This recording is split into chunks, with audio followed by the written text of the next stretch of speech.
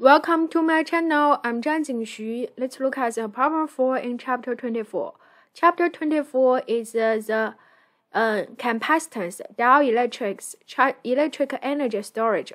So there we can see we have a capacitor and its charge increased 26 microcoulomb.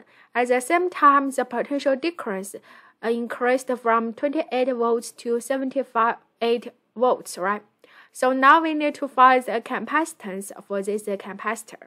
So we can write down initially the charge equal to the capacitance times the potential difference, right? So it's Q1 equal to C times V1. And the final, the charge equal to the capacitance times the potential difference V2, right? So Q2 equal to C times V2.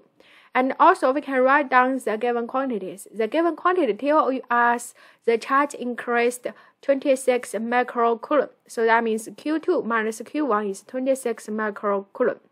And also tell us the uh, potential difference increased, right, from the 28 volts to 78 volts. So we can write it increased 50 volts, right? Now you, you can see in this case from these two equations, we can use the second equation minus the first equation. We can get the Q2 minus Q1 equal to C times V2 minus V1, right?